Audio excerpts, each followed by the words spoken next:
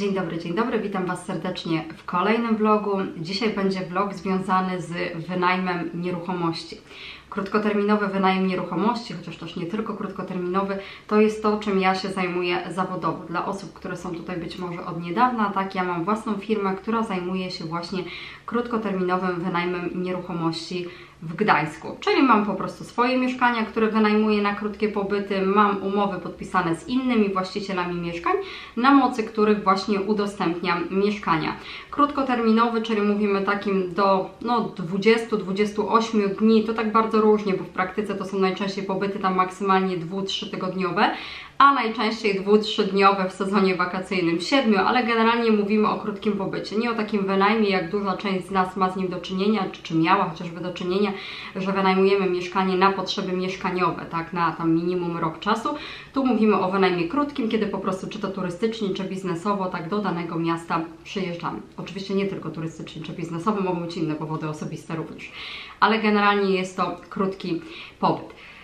I teraz tak, podejdę do tego tematu, natomiast tak troszeczkę mm, nie z punktu widzenia biznesowego, także jakby to powiedzieć, osoby, które nie są zainteresowane tematami biznesowymi, myślę, że też tutaj coś dla siebie dzisiaj znajdą, bo dzisiaj chciałabym Wam opowiedzieć o czterech takich grubszych akcjach, które miały miejsce na mieszkaniach. Na mieszkaniach mówię celowo, tak, to nie jest błąd językowy, ja wiem, Wy mieszkaniach, ja mówię branżowo na mieszkaniach, tak w branży mówimy, także tak to funkcjonuje czterech grubszych akcjach, czyli takich sytuacjach, które zapamiętałam, tak przygotowując się do tego filmu, myślałam, dobra Kaśka, te sytuacje, które Ci jako pierwsze przychodzą do głowy, co pamiętasz do dzisiaj, bo od niektórych już kilka lat nawet upłynęło.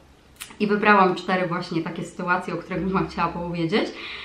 Na co należy się przygotować, jeżeli ktoś z takim biznesem chce się mierzyć, jeżeli w taki biznes chce wchodzić. Generalnie właśnie co może się stać na mieszkaniu a stać się może absolutnie wszystko.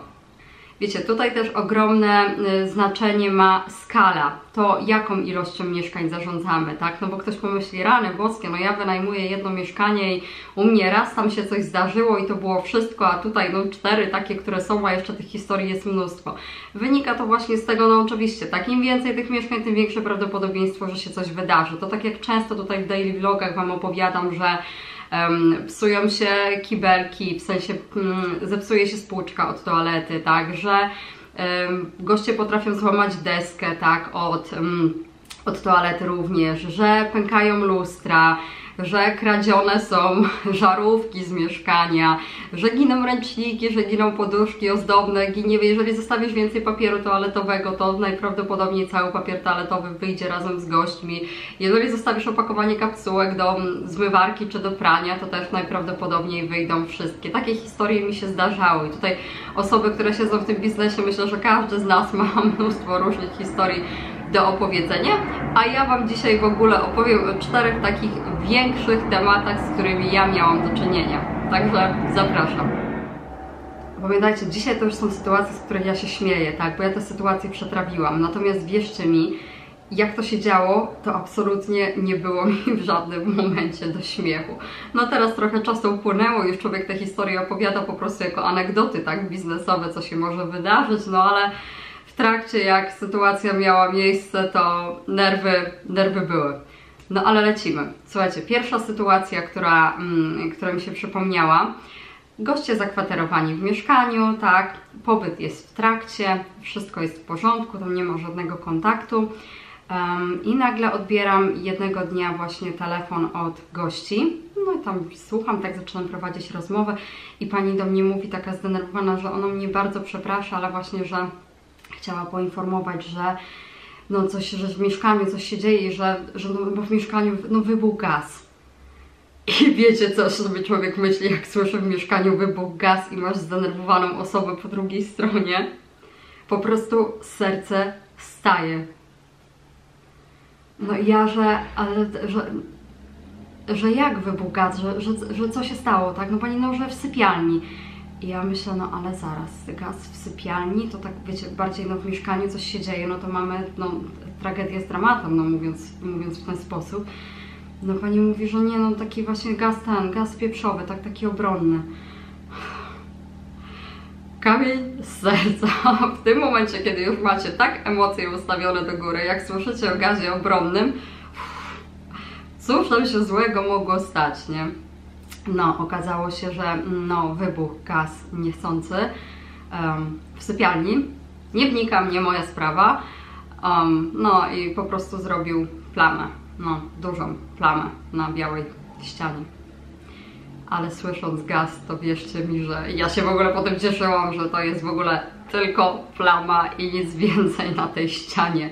Goście właśnie byli o tyle też w porządku, także porozmawialiśmy, omówiliśmy się właśnie na zwrot kosztów i w tym mieszkaniu było trzeba te ściany odmalować. Tutaj goście akurat pokryli te straty, także nie wydarzyło się nic ponad to. Tutaj to napięcie było stopniowane tym słowem gaz, wybuch gaz, to po prostu Później już sobie człowiek myślał, no dobra, teraz to już w sumie cokolwiek się stanie, to będzie lżejsze od tego, tak? No bo tutaj był właśnie taki pierwszy strach związany z tym, że naprawdę mogło dojść do poważnej tragedii, a to jest to, o czym ja tutaj też e, wspominam i co przemycam akurat w tych moich vlogach, tak? Że wiecie, wszystko fajnie, kiedy wynajmujemy mieszkanie i wszystko jest dobrze, ale ubezpieczenie w tym biznesie to jest naprawdę podstawa, bo dojść może do przeróżnych sytuacji, tak? Gość się może poślizgnąć, nie wiem, wychodząc właśnie z, spod prysznica, z wanny, jak tam mamy, tak?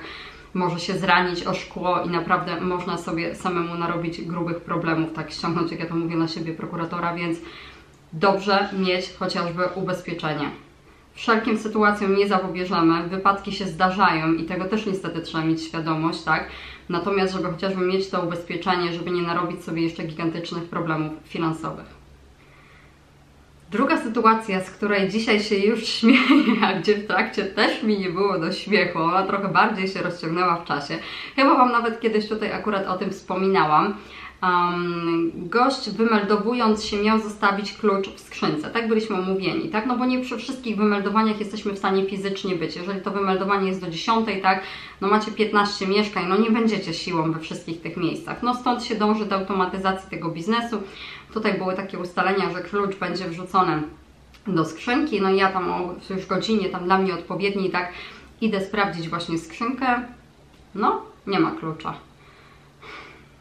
Myślę, no cóż, nie wymeldowali się. No tak też się zdarza, tak? Te wymeldowania się opóźniają.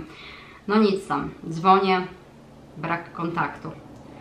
Drepczę na górę, no bo zawsze ten drugi komplet kluczy, tak, właściciel od mieszkania ma. No pukam, cisza. No i chcę otwierać, otwierać zamek, okazuje się, że drzwi są otwarte. No to już tak człowiek wchodzi tak z ciężkim sercem, wiecie, zagląda po tym mieszkaniu, tak, to tak się wychylam, tak, no wchodzę no, do pokoju, no nikogo nie widać, tak, no łóżko tam po prostu no przykryte kołdrą. Hello, hello. Cisza, no nikt nie odpowiada, zaglądam do kuchni, no nie ma nikogo słuchajcie, nagle patrzę, a spod kołdry wystaje głowa i włosy. Matko Święta, słuchajcie, ja w pierwszym odruchu naprawdę myślałam, że ten ktoś nie żyje. Jezu bo wiecie, mówię, mówię, tak, no nikt nie reaguje, dzwonię, nikt nie reaguje, no a tam nagle wystaje część ciała. Myślę, rany boskie.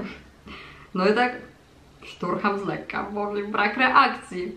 No i w pewnym momencie właśnie gość się nagle wzdrygnął, mówię, uff, no całe szczęście, chociaż żyje, tak? No więc już od tego momentu może być tylko lepiej. To tak jak z tym gazem, jak słyszycie informacje z tak ogromnym zagrożeniem, to później wszystko, co się dzieje, już jest łatwiej do, łatwiejsze do strawienia i tutaj tak samo, tak uff, ruszył się, dobra, żyje, więc jest, jest ok. No i właśnie no, gość tam zareagował, no tak wybudza się, widać, że właśnie jeszcze taki y, zmęczony trochę po wczorajszej nocy.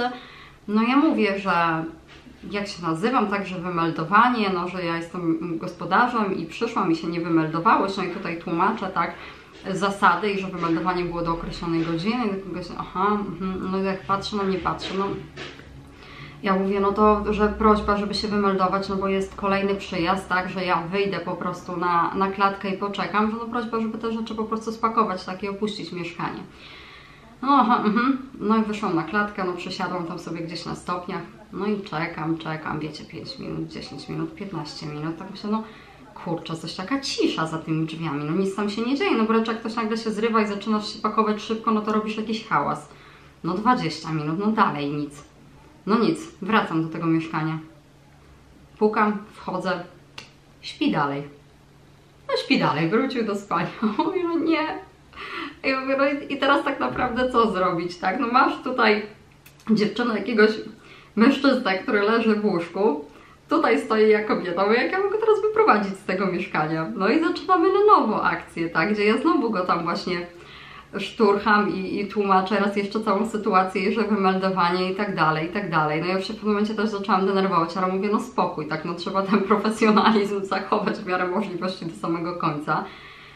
No chyba się trochę ten gość ocknął, bo zaczął wstawać, bo ja właśnie mówię, że, że trzeba wstać i wyjść i wymeldować się i tak dalej. Słuchajcie, wstaje, a on golusieńki. On golusieńki i teraz ja znowu stoję i może nie wiem, co mam począć ze sobą. Mówię, no przecież nie będę na człowieka patrzyła, więc ja się znowu odwracam i znowu tłumaczę całą historię, że prośba, żeby się wymeldować. I tak dalej, i tak dalej, że ja wyjdę i poczekam. Wyszłam na tą klatkę.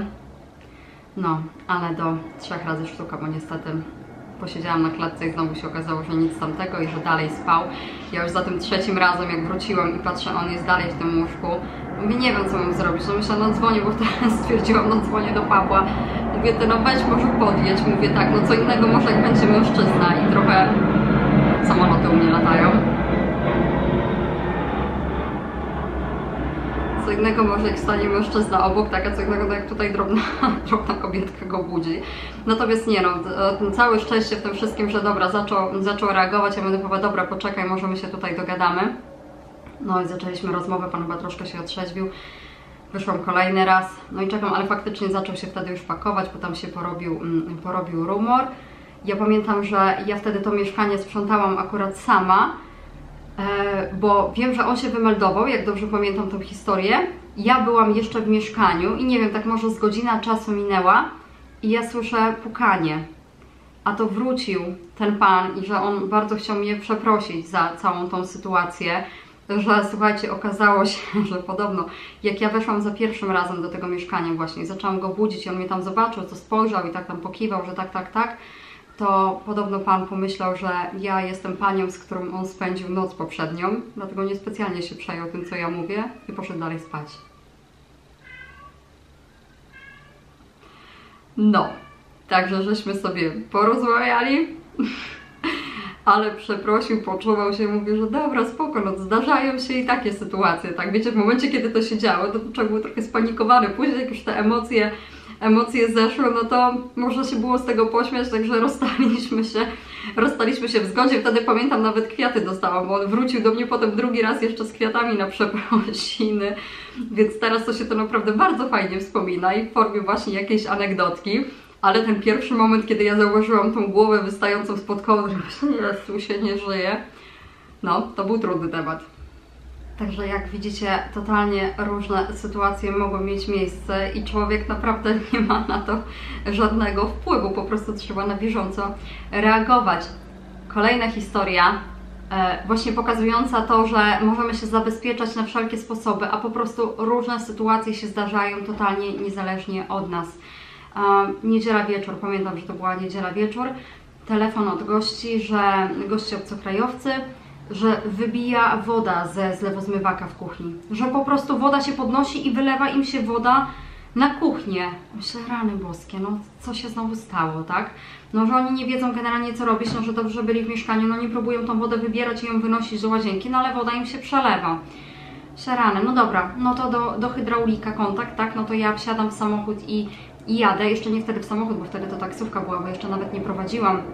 W międzyczasie właśnie telefon po hydraulika i zobaczcie, samo to, że ja w ogóle byłam na miejscu i mogłam tam jechać, to jest to, co ja mówię, że my dążymy do automatyzacji tego biznesu, natomiast czynnika ludzkiego tak totalnie tutaj nigdy nie wykluczymy, chyba, że po prostu będziecie mieli osobę, która będzie na miejscu i będzie reagowała. To jest to, że jeżeli ja gdzieś wyjeżdżam, to zawsze tutaj muszę mieć kogoś, kto mnie ewentualnie wesprze, jeżeli będą jakieś sytuacje krytyczne no jadę na miejsce, tak, wchodzę do, do mieszkania i słuchajcie, no faktycznie, no przelewa się po prostu woda przez ten zlewozmywak, no to no co robimy, no najbardziej logiczne wydaje się, no piętro wyżej, tak, z zapytaniem właśnie, czy coś się u nich dzieje, czy u nich też jest problem, no sąsiad piętro wyżej twierdzi, że no on nic, nic nie robi, tak, u niego się nic nie dzieje w tym momencie. Mówię, aha, No to dobra, no w międzyczasie właśnie konsultacja też z hydraulikiem, no wiecie, ja się też do końca nie znam, nie wszystko jestem w stanie, w stanie sobie wyobrazić, co się może stać, no to jeszcze kolejne piętro wyżej, tak? No to tam sąsiedzi nie otwierają, kolejne piętro wyżej, no oni, oni nic nie robią, tak? No u nich się nic nie dzieje. No dobra, no czekamy na hydraulika, tak, ja w międzyczasie, no to ta woda w pewnym momencie się zatrzymała, także ona przestała wybijać, no utrzymywała tam jakiś wysoki poziom, ale chociaż się poziom nie podnosił. Słuchajcie, przy całym tym absurdzie tego wszystkiego, co się działo, bo to po prostu, jak ja sama później o tym myślałam, to mówię, to brzmi po prostu strasznie niewiarygodnie, ale, ale to się zdarzyło, bo to jeszcze nie jest wszystko w tej historii. Ja wyszłam, pamiętam, na zewnątrz czekać na, na tego hydraulika, żeby on tam go poprowadzić, żeby wiedział jak wejść, a w międzyczasie to się dowiedziałam później, jak już wróciłam na górę. Yy, sąsiad z, tego, z tej klatki też wracał do domu taki lekko podchmielony i rozsypały mu się cebule. Serio, rozsypały mu się cebule. To jest o tyle istotne w tej historii, że one się mu rozsypały po klatce. On zaczął te cebule zbierać i jak później nam tłumaczył, mm, no chciał te cebule tam pozmiatać, te wszystkie obierki, które pospadały po prostu z miotką i szufalką e, i zapukał do tego mieszkania właśnie mojego, które ja wynajmuję poprosić o zmiotkę i szufalkę a że goście w ogóle myśleli, że to ja wróciłam, tak, no to oni od razu otworzyli, a on mi się wpakował do mieszkania. Oni po angielsku, on pijany, po polsku, o zmiotce i szufelce. Tam ci ludzie przerażeni, bo nie wiedzą co się dzieje, ktoś im tu nagle wszedł, tak, no myślę, że może ja wracam, że może hydraulik wszedł, a tutaj jakiś człowiek coś do nich mówi. Tak jak mi ta pani później opowiadała, no to on podobno chciał ją przytulać, że się tam do niej zaczął, że on tutaj też, że on przeprasza w sumie, że tutaj cebula i powiem Wam, brzmi po prostu tak absurdalnie, ale to się naprawdę wydarzyło. Im się udało go w końcu wyrzucić z tego mieszkania, wypchnąć, żeby on w ogóle wyszedł stamtąd i zamknęli się w tym mieszkaniu. Potem jak ja wracałam, to właśnie sprawdzali, czy to na pewno ja wracam z tym hydraulikiem, bo bali się już otworzyć drzwi. Gdzie to nie jest komfortowa sytuacja, ja doskonale gości rozumiem, tak, bo jeżeli ja bym gdzieś była, nagle właśnie w miejscowym języku ktoś mi wchodzi, to znaczy ktoś wchodzi mi do mieszkania i w miejscowym języku zaczyna coś do mnie mówić, ja w ogóle nie wiem, co się dzieje. To jest jeszcze awaria tego zlewozmywaka, no to to może być naprawdę stresująca, stresująca sytuacja. Słuchajcie, przyjechał hydraulik. Raz jeszcze przeszliśmy się w ogóle po, po sąsiadach, co się dzieje. I co się okazało ostatecznie, jak już się udało ze wszystkimi dogadać i ustalić, co się dzieje. Piętro wyżej sąsiad miał zatkany zlewozmywak w kuchni. I był u niego hydraulik, który mu ten zlewozmywak przepychał. I przepchnął mu ten zlewozmywak tak, że to wszystko, co zalegało piętro wyżej, zepchnął na nasz poziom. W związku z czym my mieliśmy zatkany odpływ, tak? U sąsiada piętro wyżej wszystko normalnie schodziło, a blokowało się na naszym poziomie. A woda zaczęła wybijać i nagle był tak gwałtowny odpływ, bo jeszcze wyżej, właśnie na tym jednym piętrze, gdzie sąsiedzi też twierdzili, że u nich się nic nie dzieje, no bo w sumie u nich się nic nie działo, no nie powiązaliśmy faktu, sąsiedzi mieli włączoną pralkę. Pod tym właśnie samym odpływem, tak? I po prostu oni robili pranie i ta woda odwirowywała, tak wypuszczała dalej wodę, a to wszystko, co schodziło i przepływało przez te rury w dół, zbierało się u nas, bo u nas było zatkane to, co nam sąsiad przepchał i wybijało po prostu na zewnątrz. Powiem Wam, że no jak, jak takiej sytuacji zapobiec? No, no nie da się, no to jest sytuacja z cyklu, no różne rzeczy stać się mogą i po prostu reaguj człowieku na bieżąco. No skończyło się to tym, że hydraulik, który przyjechał, no to po prostu odtykał u nas ten przepływ, tak, żeby właśnie to, co zostało do nas zepchnięte, zepchnąć jeszcze niżej. Tam był później temat, tak, że znowu było trzeba się kontaktować z osobami kolejnymi, czy to na pewno przeszło, bo wypadałoby jeszcze sprawdzić u nich właśnie instalację. Także słuchajcie, nie zazdroszczę gościom, naprawdę nie zazdrościłam wtedy sobie. Udało się tym zarządzić, ale naprawdę tyle, co było przy tym nerwów.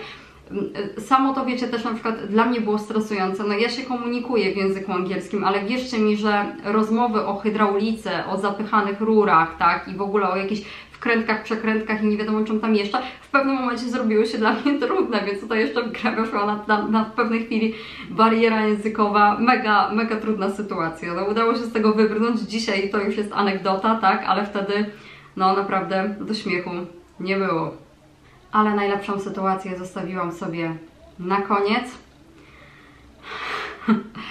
To jest jedyna taka sytuacja, w której interweniowały służby i mam nadzieję, że ostatnia, że już tego typu sytuacja mnie nie spotka. E, wiecie, ja e, i tak mam zawsze telefon włączony, tak, na noc, powiadomienia, no bo muszę słyszeć, gdyby coś się działo, tak. Nie słyszałam, słuchajcie, nie obudził mnie telefon w nocy, nie słyszałam. To nawet nie było, bo to nie były nawet połączenia, tylko to akurat były wiadomości, bo mm, goście kontaktowali się ze mną przez serwis, więc chodziły po prostu wiadomości. Nie usłyszałam tego, no po prostu spałam i tego nie usłyszałam. Tam był kontakt od gości. Szczytuję dopiero rano wiadomości i czytam właśnie, że e, już tak teraz w skrócie generalnie, że mm, no, na mieszkaniu właśnie coś się stało i była policja i nie ma drzwi i straż pożarna jeszcze była. Wiecie, jak sobie szczytujecie taką wiadomość z rana. Jezusie, po prostu, no używam imienia teraz, no ale to, to już tak potocznie, to było coś strasznego. Dzwonię do gości, tam były dwie młode dziewczyny, nie odbierają. Jezu, no jedziemy na mieszkanie, tak? Trzeba jechać na, na mieszkanie. Dzwonię w międzyczasie jeszcze, no bo policja była, tak, na komisariat, który, do którego akurat to mieszkanie, mieszkanie przelega. E, no oczywiście no, żadnych większych informacji przez telefon nie dostaniecie, ale potwierdzono mi tak, że na tym adresie, tak, no bo przedstawiłam się jako właściciel mieszkania, że na tym adresie była w nocy interwencja i że lepiej, żeby tam pani podjechała, bo tam była też straż i w mieszkaniu nie ma drzwi. No. Jedziemy na mieszkanie, wjeżdżamy, wjeżdżamy windą, no i faktycznie przy mieszkaniu drzwi są odstawione, wiecie, drzwi wejściowe, po prostu ich nie ma, są przestawione tak na ścianę obok. Wchodzimy do mieszkania. No bałagan, no ale dobra, bałagan to już nie jest niczym nadzwyczajnym. E, no i dwie dziewczyny śpią. No, no tak po prostu, no jak ten, jak gdyby, gdyby nigdy nic. W mieszkaniu nie ma drzwi i one śpią. Budzimy, wtedy byliśmy, byliśmy z Pawłem, że co, co tu w ogóle się stało, tak, że co się dzieje, w mieszkaniu nie ma drzwi. Dziewczyny takie pół, mm, półprzytomne. No tam było podejrzenie różnego rodzaju mm, środków. E, jedna się w końcu ocknęła i ona w ogóle sama, wiecie, ocknęła się i że my ją atakujemy, że w ogóle kim my jesteśmy. Mówi, no gospodarze, że widziałyśmy się, tak, w momencie, kiedy, bo ja wtedy wprowadzałam osobiście do mieszkania i tak dalej. Ona została zaatakowana, tak, że ona, my ją tutaj atakujemy. Już spokojnie, że nikt nie atakuje, co tu w ogóle się stało, że kończymy tą rezerwację. No w tym mieszkaniu nie ma drzwi. Nie ma drzwi wejściowych, a drzwi od y, łazienki jeszcze były, były wyłamane. Wiecie, ja mówię właśnie dziewczynom, że, że wyprowadzamy się, tak, że ja, ja tą rezerwację w tym momencie wypowiadam, my ją kończymy, ja się kontaktuję z serwisem, to była rezerwacja wtedy przez Airbnb, co akurat było dla mnie, dla mnie bardzo dobre i całe szczęście, y, szczęście w nieszczęściu, jak to mówią w całej tej, y, tej sytuacji. E, ja w międzyczasie zadzwoniłam na policję. Dziewczyna nie chciała opuścić mieszkania, zadzwoniłam na policję. Ja teraz już nawet nie kojarzę, czy to przyjechali funkcjonariusze, którzy wtedy byli na tej interwencji. No zresztą nieważne, tak? No panowie, no siła spokoju nie jedną sytuację, nie jedną sytuację widzieli. No mówimy, że no jest właśnie prośba o pomoc, że dziewczyny trzeba wyprowadzić. Wiecie, no na dobrą sprawę w sumie podstaw do wyprowadzenia nie ma. No dziewczyny są spokojne, mają rezerwacje, tak?